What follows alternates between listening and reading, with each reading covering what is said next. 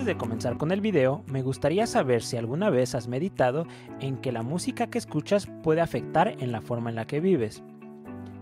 Reflexionar en esto es muy importante, por lo que te recomiendo que pauses por unos segundos el video y escribas en la caja de comentarios si crees que la música que escuchas puede afectar en la forma en la que vives.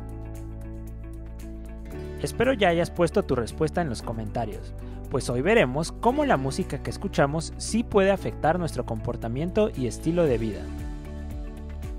Como hemos visto en anteriores videos, una cosmovisión es el lente conceptual a través del cual vemos, entendemos e interpretamos el mundo y nuestro lugar dentro de él.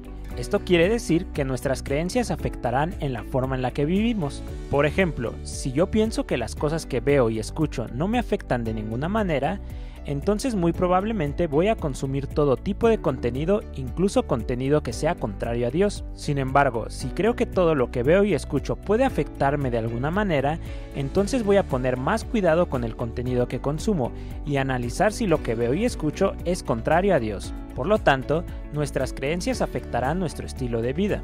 Pero, ¿qué es lo que piensa Dios acerca de la música que escuchamos? ¿Le importa la música que consumimos? Lo primero que debemos mencionar es que como vimos en el video de la caída del hombre, nuestro mayor problema no está en las cosas exteriores, sino en nuestro corazón. Jesús dijo que lo que contamina al hombre no es lo que entra en él. El verdadero problema está en el corazón del hombre, en el pecado que mora en nosotros, en nuestra enemistad con Dios. Esto no quiere decir que a Dios no le importa las cosas que consumimos, por el contrario, la Biblia nos manda a ser sabios, y en 1 de Tesalonicenses 5:22 nos llama a alejarnos de toda clase de mal. Esto significa que aunque el mayor problema no está en las cosas exteriores, sí podemos ser afectados por ellas. Un gran ejemplo de esto es lo que sucedió con la iglesia primitiva, la cual había recibido el Evangelio de Jesucristo. Sin embargo, algunos de los primeros creyentes fueron desviados del Evangelio al escuchar falsas enseñanzas y doctrinas contrarias a Dios. Por ello, Dios hizo diversas advertencias a tener cuidado con lo que escuchamos. Pero, ¿esto tiene alguna relación con la música y la cosmovisión cristiana? Sí, pues como hemos visto, todos tenemos una cosmovisión. Los falsos maestros de la antigüedad tenían su propia cosmovisión, la cual era contraria a la Biblia, pues buscaban alcanzar el favor de Dios bajo sus propios méritos. Sus creencias de los falsos maestros afectaron negativamente a muchas personas del primer siglo. De igual manera, cada canción que escuchamos tiene un mensaje con la cosmovisión de la persona que escribió la canción. Por lo tanto, es importante que analicemos si la música que escuchamos es contraria a la cosmovisión cristiana o no. ¿En qué sentido puede ser contraria? Bueno, de acuerdo con la Biblia, fuimos creados para glorificar a Dios y disfrutar de Él por siempre. Fuimos hechos para ser la imagen de Dios en la tierra.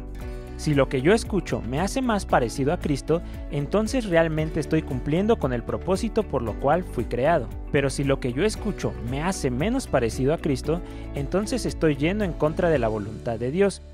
¿Esto significa que solo puedo escuchar música cristiana? No necesariamente. No olvidemos que el ser humano fue creado a imagen de Dios, y aunque el hombre tiene la imagen de Dios manchada, aún puede llegar a reflejar la imagen de Dios en algunas áreas, como cuando un padre no creyente muestra amor por sus hijos.